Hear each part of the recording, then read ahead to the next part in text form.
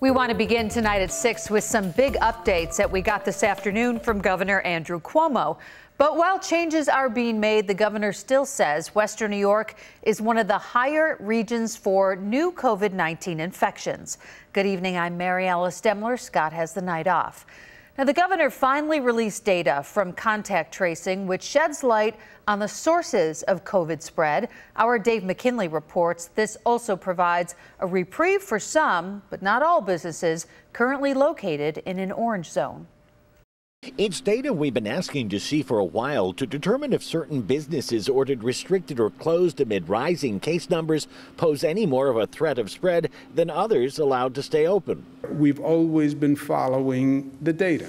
Yeah, well, the data bears out what the owners of hair salons and gyms in particular have long argued that there has been almost no spread of COVID that can be linked to their establishments. And so the governor says he'll now allow those in orange zones to reopen, but under rules that are stricter than what they had when he ordered them closed last month. They're at 33% now. Capacity will go to 25%.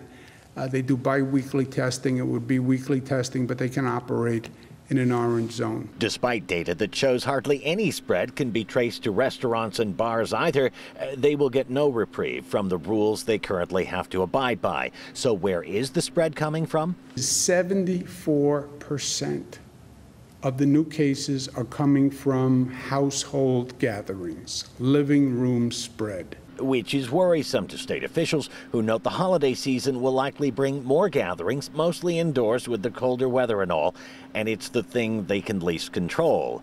After home gatherings, hospitals and doctors' offices accounted for the next largest source of spread at 8%, and colleges and universities, which account for about 2%. He also noted local schools have shown to pose almost no threat of spread. Despite this, the Buffalo Public Schools announced yesterday uh, they wouldn't have their kids back until February unless you have data that says the schools are at a problematic infection rate, the schools should be open. Dave McKinley, Channel 2 News.